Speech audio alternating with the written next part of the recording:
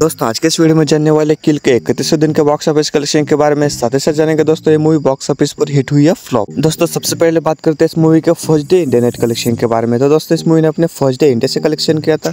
साथ ही साथ दोस्तों, इस मूवी ने फ़र्स्ट वीकेंड कलेक्शन किया था, छह करोड़ पाँच लाख रुपए का, और फ़र्स्ट वीक कलेक्शन किया था, ग्यारह करोड़ बीस लाख रुपए का। दूसरे हफ़्ते कलेक्शन किया था, छह करोड़ चौहत्तर लाख रुपए का। तीसरे हफ़्ते तीन करोड़ चौबीस लाख रुपए का। साथ ही साथ इस मूवी ने चौथे हफ़्ते कलेक्शन किया था, एक करोड़ छियालीस लाख रुपए उनतीसवें दिन पाँच लाख रुपए का। साथ ही साथ दोस्तों, इस मूवी ने अपने तीसवें दिन कलेक्शन किया था, सत्रह लाख रुपए का। इसी के साथ दोस्तों, इस मूवी का टोटल तीस दिन का इंटरनेट कलेक्शन हो चुका था, बाईस करोड़ छियासी लाख रुपए का, और इंडिया ग्रोस कलेक्शन किया था, सत्ताईस करोड़ चालीस लाख रुपए का। साथ ही साथ दोस्तों, इस मूवी ने ओवरसीज कलेक्शन किया था। अठारह करोड़ रुपए का। इसी के साथ दोस्तों, इस मूवी का टोटल तीस दिन का worldwide box office collection हो चुका था। पैंतालीस करोड़ चालीस लाख रूपए का। साथ ही साथ दोस्तों, बात की जाए इस मूवी के बजट के बारे में तो इस मूवी का बजट था बाईस करोड़ रूपए। और इसी के साथ ये मूवी बॉक्स ऑफ़िस पर हो चुके सेमी हिट साथ ही साथ दोस्तों, बात करते हैं इस मूवी के एमलीबी रेटिंग के बारे में। तो दोस्तों, इस मूवी का एमलीबी रेटिंग मिल चुकी थी seven point seven out of ten इसी के साथ दोस्तों, बात की जाए इस मूवी के इकतीस दिन के बॉक्स ऑफ़िस कलेक्शन के बारे में तो दोस्तों, ये मूवी अपने इकतीस दिन इंडिया से कलेक्शन करने वाली है। पच्चीस लाख रुपए का।